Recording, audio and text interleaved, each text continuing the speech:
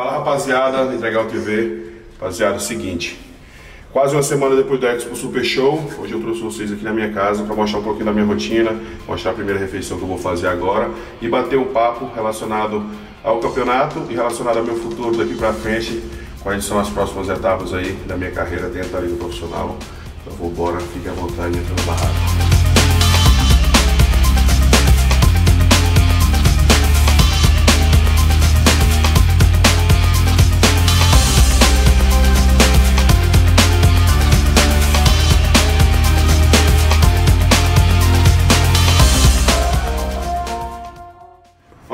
o seguinte, vou fazer agora aqui a minha primeira refeição, vocês vão poder acompanhar.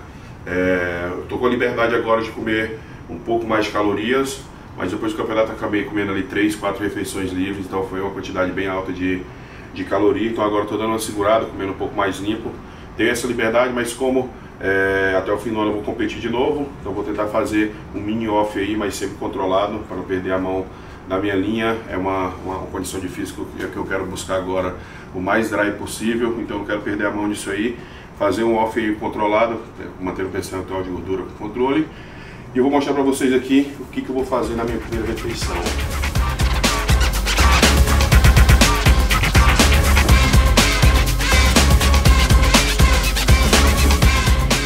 Minha primeira refeição, como de costume, sempre uso a minha primeira refeição para na minha digestão aveia, algumas frutas. Não sou desse time aí de tal um capial aí, não sei o que, good boy, não sou desse time não, mas eu como fruta. Então eu faço algumas, algumas escolhas de fruta. Hoje eu escolhi melancia e banana. Coloco um pouco de chia, porque chia acaba, quando eu misturo ela com, com iogurte zero, acabou é, tendo uma sensação de saciedade, não preciso comer muito porque ela acaba inchando o estômago. E algumas fatias de bolacha de arroz com geleia uma refeição bastante nutritiva que você pode fazer na sua preparação, na sua casa, na sua chácara, no seu barco e na sua rotina. E 80 gramas de aveia. Ui. No off pode passar um pouquinho. Não é quanto não pode não, no off pode. Vou colocar duas bananas.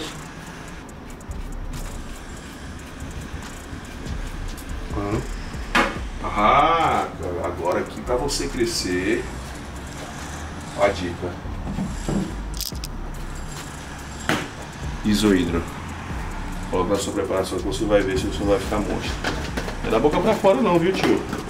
Pra você ficar monstro mesmo. Vamos lá. Três scoopzinhos de isohidro.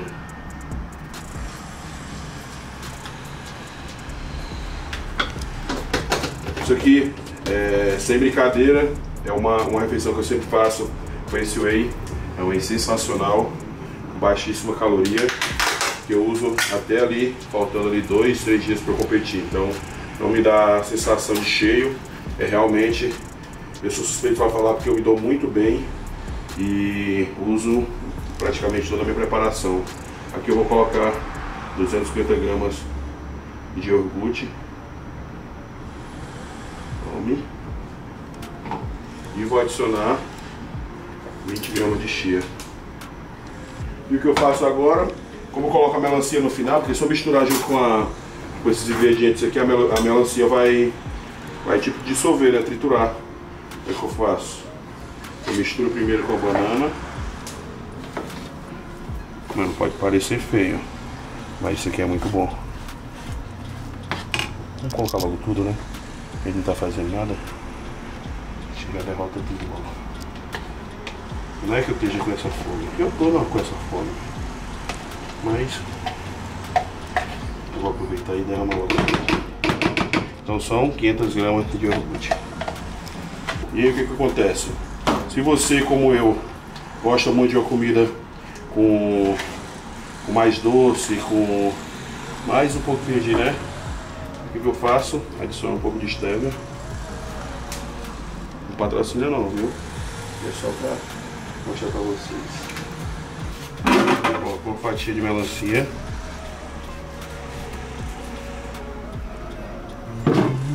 Uma fatiazinha.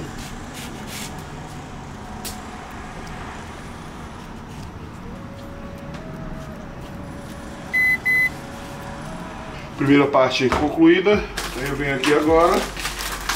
Bolachinha de arroz.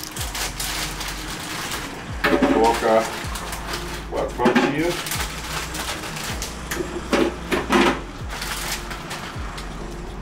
Eu vou pegar essa geleia zero, que eu uso de amora. Vou colocar uma colher de cada bolacha de arroz. É, quando as contas contam? Agora sim. Rapaziada, vem com o papai que agora você vai ficar grande.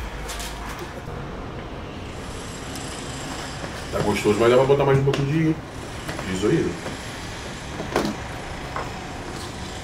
Só pra dar um tchan. Sabe quando tu, tu vai tomar sorvete, tu pede também com a coberturinha? Melhor. Não faz mal não, isso aqui pode botar, gente. Agora sim. Rapaziada, é o seguinte, muita gente acaba me fazendo bastante pergunta da seguinte forma, Bruno, como que eu faço para poder adicionar esse tamanho é, e manter essa constância? É, para quem não sabe, 5 anos atrás, mais ou menos, 5 anos e meio atrás, competia na categoria Men's Physique, ali em torno de 80 quilos, 82 quilos quando eu estava no palco. E esse final de semana que eu competi, é, eu acordei no dia do campeonato com 124,5. E o segredo de tudo isso é o que eu falo sempre pro pessoal, é a constância dentro da tua alimentação, dentro da tua rotina nutritiva. Você precisa realmente ter um empenho na hora de se alimentar. É, é uma quantidade muito alta de comida que eu acabo ingerindo, principalmente na fase que eu estou off de competição. Então isso é muito importante para que tu tenha essa construção muscular e adicione essa quantidade de massa meu metabolismo é muito acelerado, então quando eu comecei eu era o ectomorfo bravo, então era muito difícil adicionar tamanho e a minha constância, a minha vontade de evoluir e subir de categoria foi muito grande, então acabei é, passando essa barreira e veio passando a cada preparação, porque eu mantenho essa disciplina na minha dieta. E muita gente acha que, pô, é, é só fazer um protocolo que eu vou evoluir, é, faço um triquinho aqui que vai dar tudo certo, não.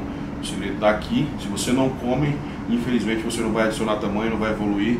E é primordial para mim, top 1 é, para minha evolução foi isso aqui, foi a dieta e logo em seguida treinar muito forte. Então, acabei conversando logo depois do campeonato com o Sais, tive uma reunião com todo o time.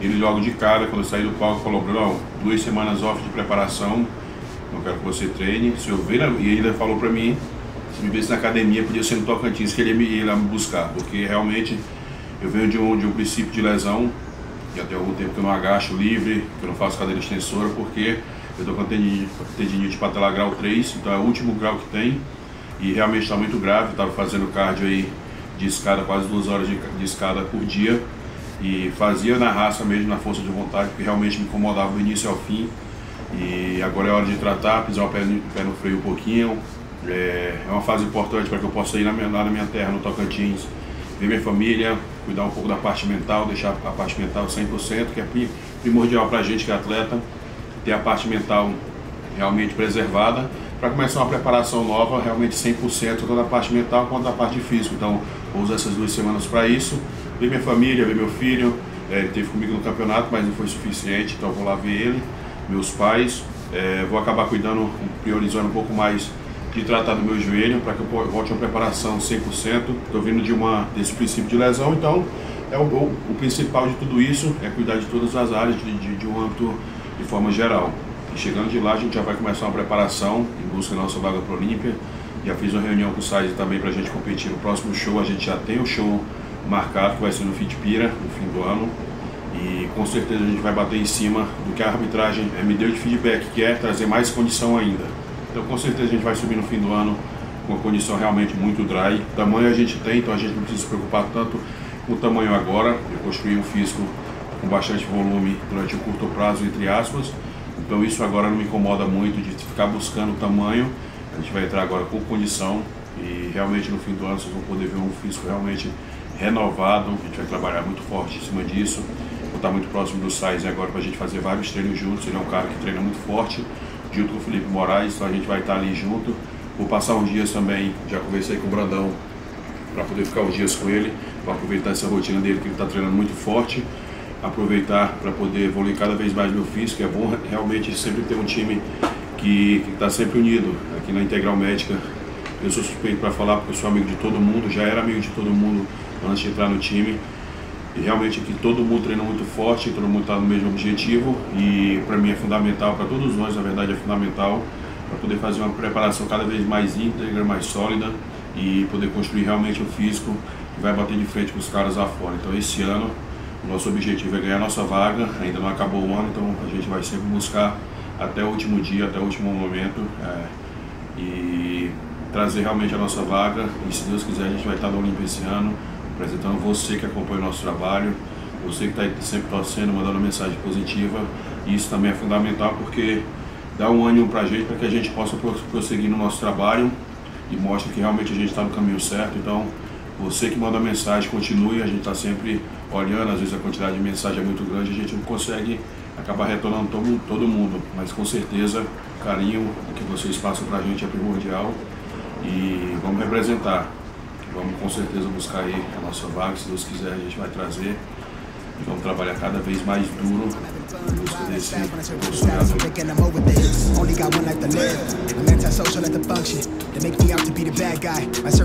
em busca desse sonhador. A primeira refeição, seja em off, seja pré-conto, sempre a primeira é muito boa, porque é a, é, é a única que é diferente de todas as outras. As outras refeições, a partir da segunda, é sempre arroz, junto com ali mais ou menos 150 gramas ou de abacaxi ou de mamão, isso me ajuda muito na minha digestão. E a variação que eu tenho nas outras refeições é só de proteína. Eu uso peixe, carne ou frango. Então até a última refeição é isso. E entre a refeição 4 e 6, eu acabo usando 30 gramas de diesel. Isso size passa muito para mim, porque eu já usava antes do, das outras preparações. O ISO sempre usava, só que ele acabou complementando. Então entre as refeições eu faço duas doses de whey, fora a, a dose que eu uso no pós-treino mas a primeira refeição para mim é a melhor, essa que me dá mais uma saciedade de doce e tudo, então é, é a que eu sempre passo o dia inteiro esperando dormir para poder acordar e comer a primeira refeição. Então a única variação que eu tenho é só nas outras refeições, da segunda e diante, que é a parte de proteína, mas relacionada a carboidrato e fruta são sempre as mesmas. E é isso. É, você que está em casa, que quer realmente fazer acontecer, uso básico, isso aqui é uma refeição muito básica, você pode usar na sua casa. Por problema, não tenho condição de comprar uma carne vermelha, uso frango. Ah, não tenho condição de comprar um frango, tem a proteína do ovo, então é, dá para você usar junto com arroz. E, e, é o básico, irmão, não tem, não tem muito mistério. É, muita gente acha que a gente usa outro tipo de alimento que realmente vai fazer desenvolver de uma forma significativa, não. Aqui sempre é a mesma coisa, a preparação seja de off, seja pré-contest, são sempre as mesmas refeições, só que vai variando a quantidade de caloria. Então você que está em preparação, faz o básico, com certeza vai agregar na tua preparação, vai fazer você evoluir. E sempre acompanhar a gente no canal, a gente está sempre trazendo conteúdo, se inscreva no canal, deixe seu comentário positivo, isso faz com que a gente venha produzir cada vez mais e trazer mais conteúdo para você que vai agregar no seu dia a dia, na sua preparação, na sua rotina, valeu? Então, tamo junto, daqui para frente, muito conteúdo para vocês, a saga rumo ao Olímpia, valeu? Tamo junto.